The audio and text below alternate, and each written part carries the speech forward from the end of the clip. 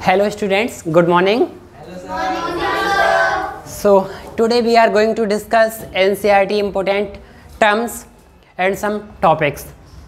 So you can ask me questions and we will discuss only orally discuss all the questions okay right yes तो एन के ऐसे important fact या topics या incident जो बहुत इंपॉर्टेंट रोल रखते हैं अपने चैप्टर्स में हम आज उनका डिस्कस करेंगे ओके तो देन आप एक एक से अपने क्वेश्चंस रेज करेंगे और मैं उन क्वेश्चंस को लेता हूँ और कॉन्वर्सेशन करते हैं। तो राइट नाउ हु आज want to ask first yes? What November criminals? Okay the time period of uh, 1918 it means from 1917 to 1918 during the world war one जब फ़र्स्ट वर्ल्ड वॉर चल रहा था तभी क्या हुआ था? जो रसिया है ना तो रसिया में रसिया के किंग थे जार निकोलस। ठीक है रसिया में कौन थे? Jar Nicholas. ए किंग थे। तो नवंबर के मंथ में इन्होंने क्या है? ट्रीटी की थी 1918 को। जिसमें रसिया को बहुत ज़्यादा लॉस हुआ था। इसलिए रसिया के जो पीपल थे, वहाँ के लोग, उन्होंने इस रेवोल्यूशन को या उस ट्रीटी को क्या बोला? नवंबर क्रिमिनल कि यहाँ पर जो जितने पॉलिटिकल लीडर थे, जिन्होंने जो स्टेप लिया था, वो उनके आगे मतलब फेवर में नहीं था अगेंस्ट में था। इसलिए वहाँ के लोगों ने इसको क्रिमिनल बोला, November criminal next question from next student yes yes yes what is bloody Sunday okay bloody Sunday क्या है इसको समझें, बच्चे के क्वेश्चन है? ब्लडी संडे है। एक बार क्या है, रूस में वर्कर्स थे, जैसे रिवर के वन साइड एक साइड के जो फ्रंट है, उधर क्या है, जो मोनार्की है किंग है नोबलिटी वाले लोग रहते हैं, और दूसरी साइड वर्कर्स या लेबर वाले लोग रहते हैं। तो आप ऐसे समझ सकते हैं सपोज़ इज़ दैट ये मान लो रिवर है, ठीक है?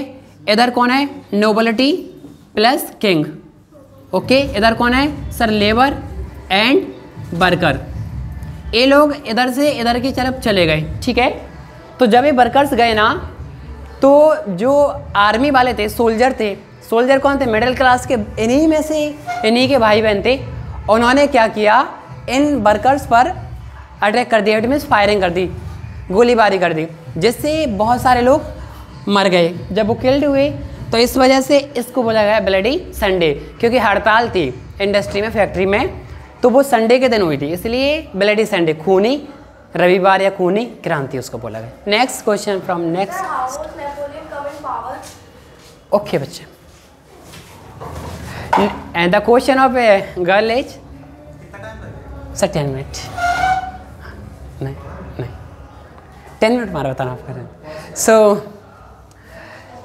Question of glaze how did Napoleon came in power Napoleon power में कैसे आया? बहुत सिंपल सा रीजन है कि 70 89 में मोनार्की सिस्टम का एंड हो जाता है फ्रांस में.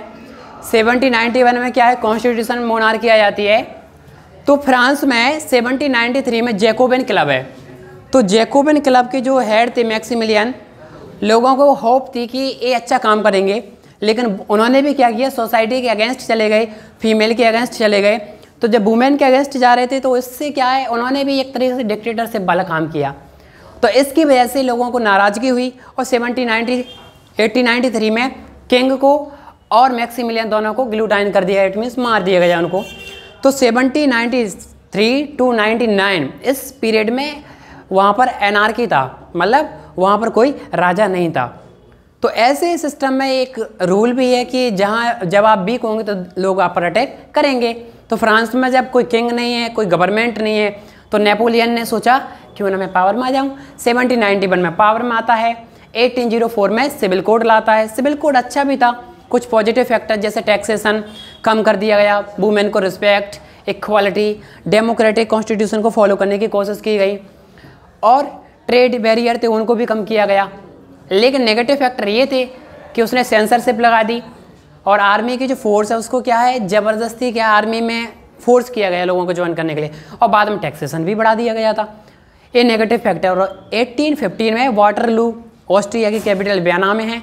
वहाँ पर पीस ट्रीटी होती है। पराब प्रूसिया रसिया ऑस्ट्रिया और ब्रिटेन ये फोर कंट्रीज़ मिल करके नेपोलियन को पीट देती हैं। ठीक है? तो ये इंसिडेंट थी नेपोलियन की वाटरलू वाले। Okay exact and next question from next student What are the features of pastoralists and nomads? Okay. What are the features of pastoralist and nomads?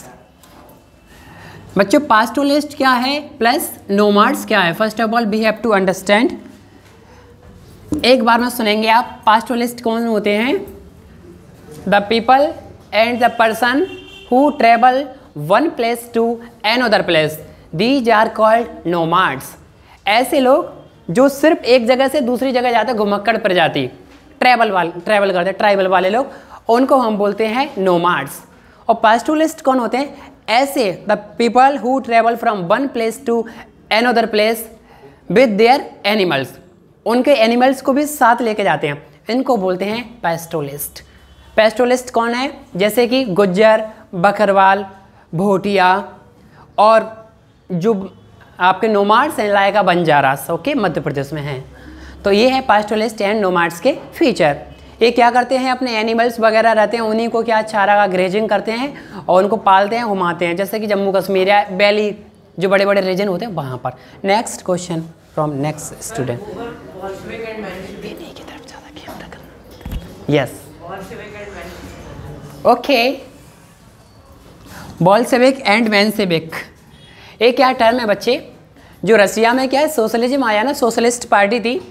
तो वहाँ पर क्या है? जो लेनिन थे बिलामिद लेनिन तो लेनिन का क्या था कि थॉट था कि मैं सोशलिज्म लाऊं, रसिया को सोशलिस्ट बनाना है। सोशलिज्म का पर्पस क्या था? कि जो मेजर प्रोडक्शन के एरिया है ना उस पर क्या है? सोसाइटी का हक होना चाहिए। सभी के लिए बराबर हो, सभी लोगों का हक हो। ऐसा ना हो कि कुछ लोगों के हाथ में पूरी जागीर हो पूरी संपत्ति हो ऐसा ना हो। इसलिए उन्होंने क्या किया? एक पार्टी का ऑर्गेनाइज किया जिस पार्टी का नाम रखा उन्होंने वॉल्सविक और आगे चल के उसी पार्टी की विचारधाराएँ जो ब्रेक डाउन हो जाती है तो एक पार्टी की उसी विचारधारा का नाम बन गया मैनसेबिक जो इसी का एक भाग था। किसका? बोल्सबिक का। ओके? ये question next question?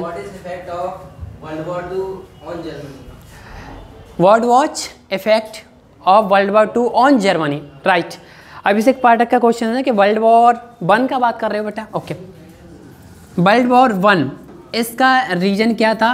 और इसका इफ़ेक्ट देखना है. इफ़ेक्ट ओवर जर्मनी लेसन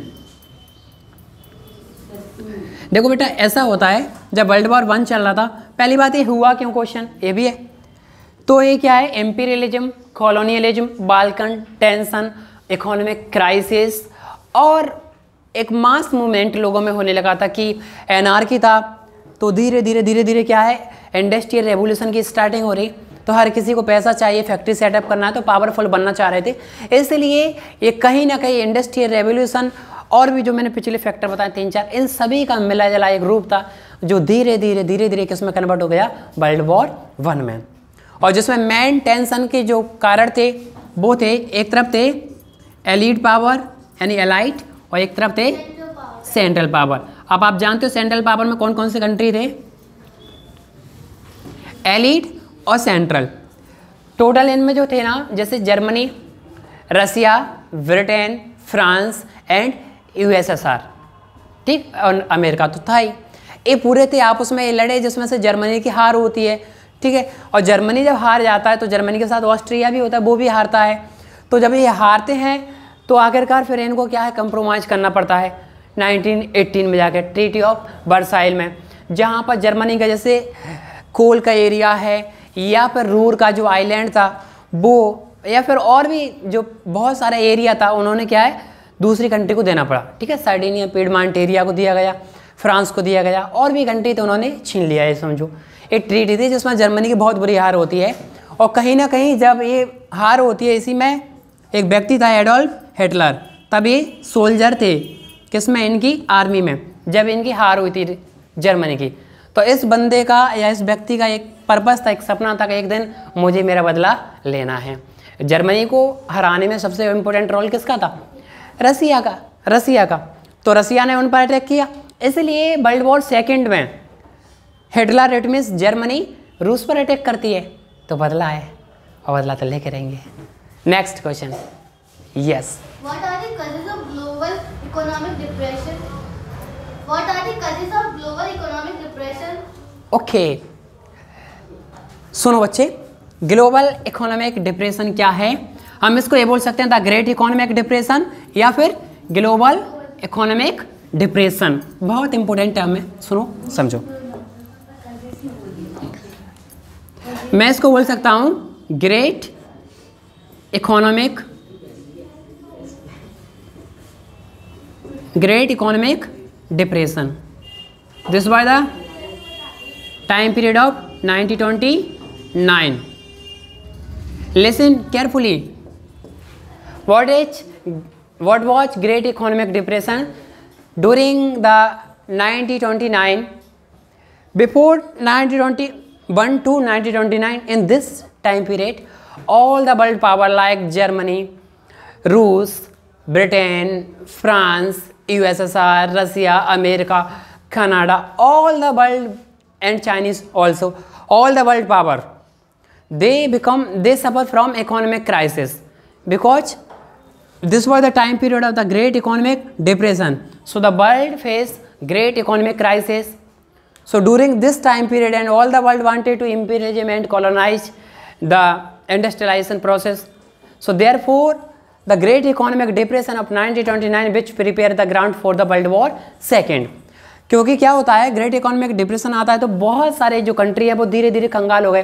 पैसे नहीं बचे।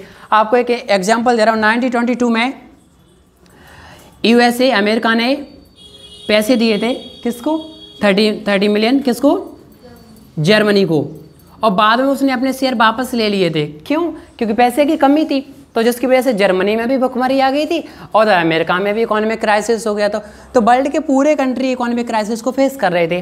तो यही कारण था ग्रेट इकोनॉमिक डिप्रेशन का, जिसकी वजह से आगे चल के वर्ल्ड वॉर सेकेंड में ही कन्वर्ट हो गया। क्योंकि इकोनॉमिक क्राइसिस पर ही जियोग्राफिकल कंडीशंस हैं। नेक्स्ट क्वेश्चन एनीबडी स्टूडेंट और किसी का क्वेश्चन है. गुड इट तो बात को रखें। किसी के मन में हो कोई बात तो बताओ। किसी का है? Huh? Yes. What of the role of